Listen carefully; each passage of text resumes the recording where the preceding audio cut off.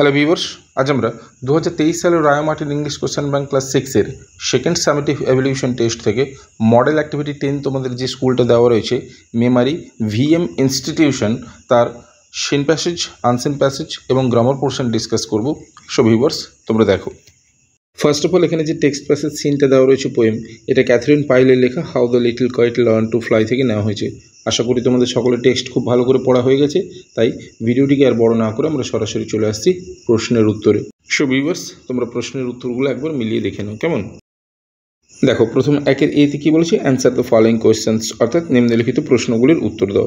First কোয়েশ্চেনটা দেখো। How did the big kite inspire the little kite to fly অর্থাৎ বড় ঘুড়িটি ছোট ঘুড়িকে কীভাবে উদ্বুদ্ধ করেছিল বা অনুপ্রাণিত করেছিল উড়বার জন্য? তাহলে অ্যান্সারটা কী লিখব?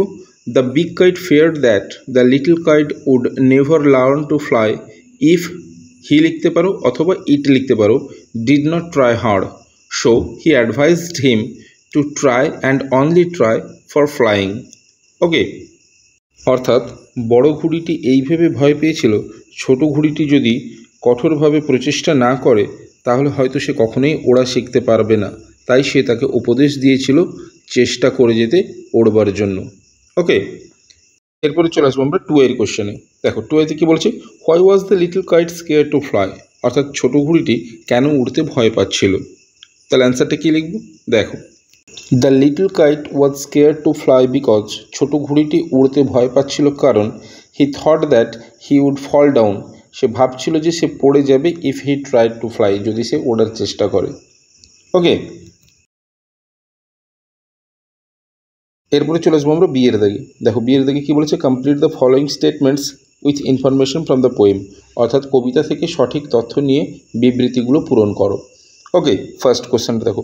When the little kite was started to fly যখন ছোট ঘুড়িটি উড়া শুরু করেছিল ইট ওয়াজ হুয়ারলিং অ্যান্ড ফ্রাইটেন্ড অর্থাৎ সেটি ছিল তখন ঘূর্ণায়মান এবং ভীত। ওকে, এরপর আমরা চলে আসব টু এর কোশ্চেনে দেখো টু আইতে কী বলছি? Once the little kite grew braver যখন ছোট ঘুড়িটি একবার সাহস সঞ্চয় করেছিল it rose through the air alone অর্থাৎ এটি বাতাসের মধ্যে একাই উপরে উঠে গিয়েছিল। ওকে, এরপরে চলে আসব আমরা সিয়ের দাগে দেখো, কী বলেছি সিয়ের দাগে write T for true and A for false against the following statements okay first কোশ্চেনটা দেখো। There was no storm in the sky অর্থাৎ আকাশে তখন ঝড় ছিল না। তাহলে এটা ট্রু হবে?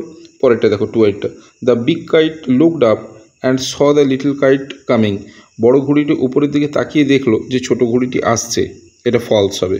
ওকে এরপরে চলে আসব আমরা দুইয়ের দাগে রিডিং কম্প্রিহেনশন আনসিনে এখানে একটা আনসিন প্যাসেজ দেওয়া রয়েছে। আমি আনসিন প্যাসেজটা পড়ছি, তোমরা ভালো করে শোনো, তারপরেই কিন্তু প্রশ্নের উত্তরগুলো ডিসকাস করব। কেমন? দেখো twenty four hours make a day অর্থাৎ চব্বিশ ঘণ্টা একটা দিন সম্পূর্ণ করে। Each day has two parts প্রত্যেকটি দিনের দুটি ভাগ রয়েছে ডে অ্যান্ড নাইট দিন এবং রাত্রি। Day time is for work দিনের ভাগটা হচ্ছে কাজ করবার জন্য।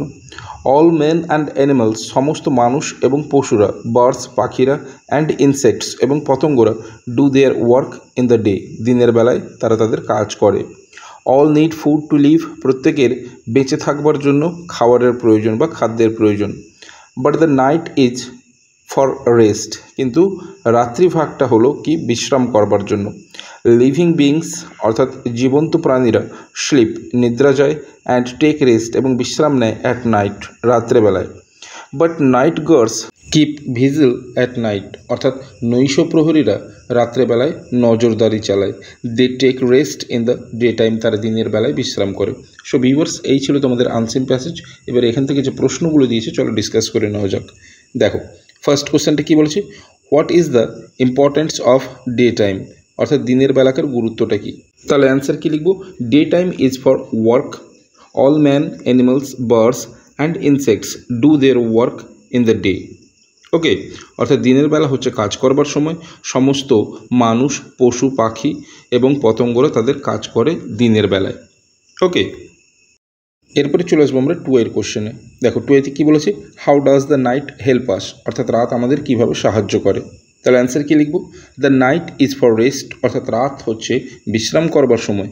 লিভিং বিংস অর্থাৎ জীবন্ত প্রাণীরা sleep and take rest at night অর্থাৎ রাত্রেবেলা বিশ্রাম করে এবং ঘুমায়। ওকে এরপরে চলে আসব আমরা বিয়ের দাগে। দেখো বিয়ের দাগে কী বলেছে? Write T for true and F for false statements okay first কোশ্চেনটা দেখো, কী বলেছে? We work to get food আমরা কাজ করি খাদ্য পাওয়ার জন্য। তাহলে এটা ট্রু হবে। এরপরে টু এর কোশ্চেনটা দেখো। The night guards take rest at night অর্থাৎ নৈশ প্রহরীরা রাত্রে বিশ্রাম করে। নিশ্চয়ই না? তাহলে এটা ফলস হবে।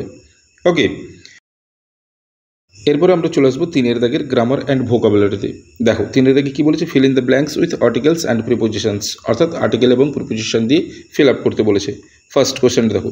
He is dash university student তাহলে এখানে কি হবে? এ ইউনিভার্সিটি স্টুডেন্ট কেন? কারণ ইউনিভার্সিটির ইউ ভাওয়েল হওয়া সত্ত্বেও এর প্রোনাউন্সিয়েশন ইউর মতো। তাই এ বসবে। এরপরে টু এর কোশ্চেনটা দেখো। He was born dash twenty fifth July two thousand five কোনো ডেটের আগে সবসময় অন বসে। ওকে এরপরে থ্রি এর কোশ্চেন দেখো।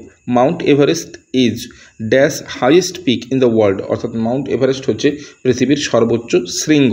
তাহলে এটা দা হবে। ওকে এরপরে বিয়ের দাগে দেখো কি বলেছে ডু অ্যাজ ডিরেক্টেড ফার্স্ট কোশ্চেনটা দেখো হি হ্যাজ এ ব্যাট করতে বলেছে কি মেক ইট সিম্পল পাস্ট তাহলে সিম্পল পাস্টে হলে কি হয়ে যাবে? হি হ্যাড এ ব্যাট অর্থাৎ তার একটি ব্যাট ছিল।